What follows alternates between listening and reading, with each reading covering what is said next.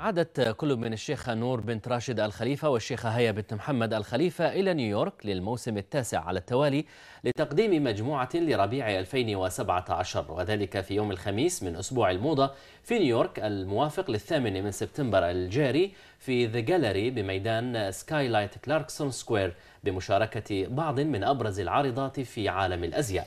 ووصفت الشيخة نورة هذه المجموعة قائلة تمكنا هذه المرة من تجسيد الأنوثة العصرية من خلال الأقمشة الخفيفة والسلسلة والتطريز الذي يضيف إلى القطع إضاءة متميزة.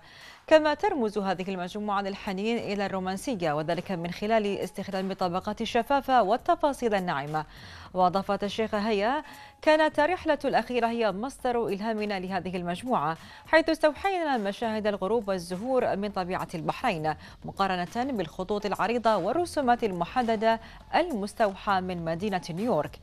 هذا وتحتوي المجموعة على قطع فاخرة تتسم بالراحة والاسترخاء والسلاسة.